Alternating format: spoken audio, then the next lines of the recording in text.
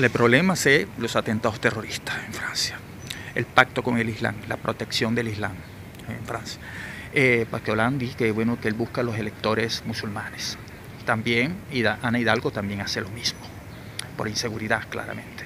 Los tres atentados de, enero de este 2015, la primera decapitación de junio, y a esto se suman, bueno, el, atentado bueno, a la discoteca que está cerca de, de la Plaza de la República y un restaurante también que entraron anoche y mataron a la gente.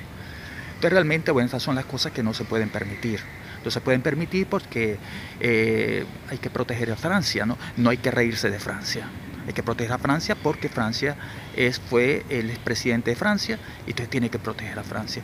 Y estos atentados, estos pactos y estas cuestiones de invitar al Ramadán, de proteger el Islam, de todo esto, bueno, esto hay que quitarlo. Y por eso toda Francia le dona la confianza a María Le Pen y la credibilidad. Ya digo que la historia de Francia se catastrófico, más no. Eh, apertos atentados a Jambier, a, a, eh, la, primer, la primera decapitación, Francia. Hier, bueno, son entré en una discoteca importante, para lugar de la Plaza de la República, y son atentados a ver tout le monde, son tout, tout le monde. Y oui, avant, son entré en un restaurant, a côté de la Gare Nord, oui, y, y aussi, son a la Menchosa. Pas, pas normal.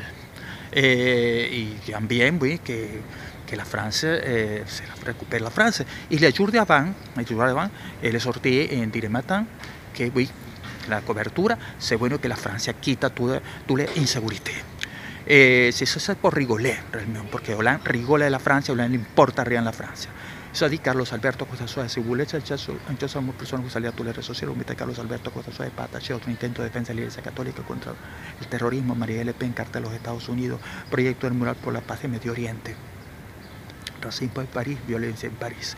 Merci bien a todos, muchas gracias a todos por vuestra atención.